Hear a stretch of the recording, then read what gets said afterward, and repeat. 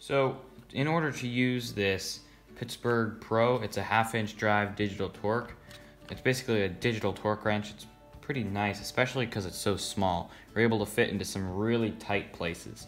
So we are going to be tightening these bolts here on the chainsaw to 10 foot-pounds, which is 13.56 newton meters. Now on the certification sheet, it says that the range is from 29 to 147 foot-pounds. Now, so that is a little bit out of its range, but these bolts here are not mission critical. They have to be exact torque. This will work fine. It'll get it in the ballpark of 10 foot-pounds. We just don't want to get this so tight that it breaks our gasket.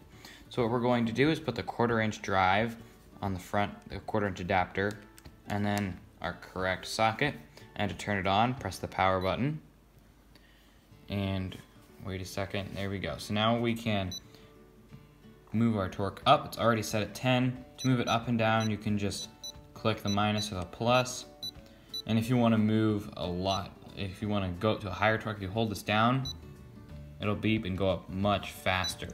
We want it down there at 10, so let's bring it back down. And then we can just take our half inch drive, ratchet,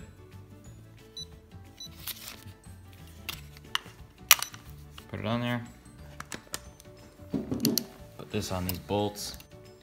So now with some fresh batteries in here, because actually as we were tightening this, we didn't hear the beep and it was getting pretty tight, and this actually died as we were tightening the bolt. So now what we're going to do is I'm going to loosen this bolt just to make sure it's not too tight on there. Because we don't want it, we have a silicone gasket on there, and if that gets too tight, then it could destroy the gasket. So we're going to take this out. Okay, it broke loose at about 10 foot-pounds. And just because it broke loose at 10 foot-pounds doesn't mean it was tightened at 10 foot-pounds, I think.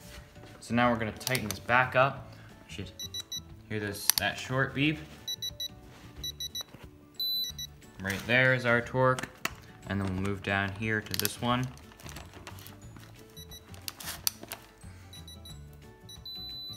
Right there. Move up to this one here. So when we're tightening this one, now those short beeps mean that we are in within 20% of our targeted torque. And then once we get to 10, which is our targeted torque, it'll do a long beep.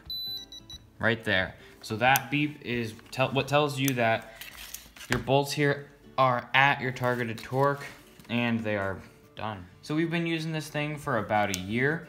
We found that it is, it's nice, especially how small it is. You aren't trying to fit a big torque wrench in there. It's definitely nice just when the batteries are good. Just make sure you replace them or don't get it too low. One thing I noticed whenever the batteries were getting lower, the beep was definitely quieter before. It's definitely louder now. So if the beep is getting quieter and quieter, you probably should replace your batteries. And always turn it off before you put it back in the case, and that'll also help keep your batteries longer.